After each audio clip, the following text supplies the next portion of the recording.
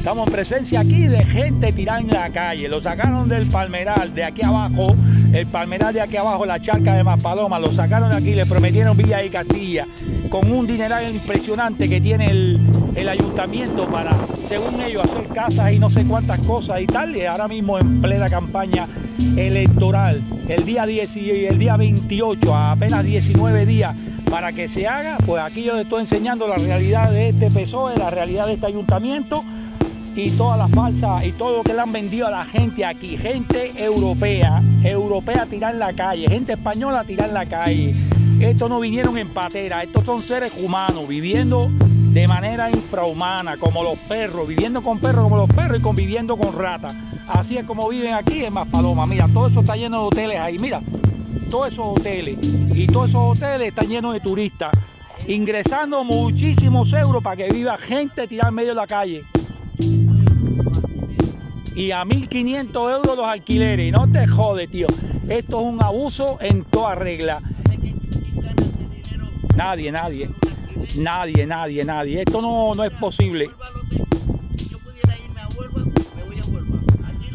Pues esto es lo que hay, esto es lo que tiene este gobierno que prometió la de Dios, criticó al gobierno anterior en este mandato de aquí de San, eh, San Bartolomé de Tirajana. Este gobierno criticó el anterior gobierno, que era más o menos de lo mismo, haciendo lo mismo. Lo que pasa es que este ha venido después, después de criticar a Marco Aurelio, que lo que hizo fue un desastre, según ellos, con las arcas vacías entre 11 y 13 millones, una cosa así, que pagaron que 4 millones, una, una burra, una cantidad de cosas que dijeron. Y este gobierno, mira, así tiene la gente tirada en medio de, de, la nada, aquí, como el antiguo este, en el, en el siglo 21. Esto es lo que hay. Una, esto es más paloma también, señores. No se engañen.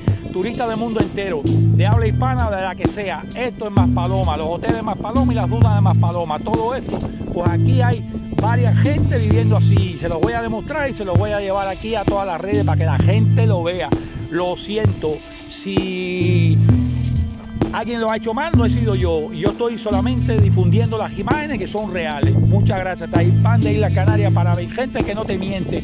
Ya hablaremos con la gente, presentaré las pruebas y ya se las enseñaré a todo el mundo para que los partidos de oposición lo tengan también. Y, señores, bájense la gente del gobierno, los políticos del gobierno, la gente que haga trabajo sobre el terreno, que haga lo que hace la gente que colabora con las redes sociales, que viene hasta aquí, hasta estos sitios a grabar todo este tipo de imágenes y lo denuncien.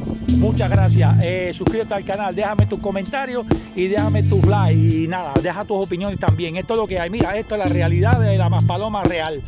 Aquí adelante hay barrios de gente adinerada, por ahí atrás hay unos mercados, incluso al lado del hospital, de ahí de Roca, el hospital de Roca hay gente viviendo que también los echaron a la calle. Pero todo este terreno que tú ves baldío aquí, según el presidente de la República, dice el señor Sánchez que aquí no hay terreno para construir las 20.000 viviendas. Y así como esto hay muchísimos en la península. Muchas gracias, Taipán de Isla Canaria. Nos vemos, señores.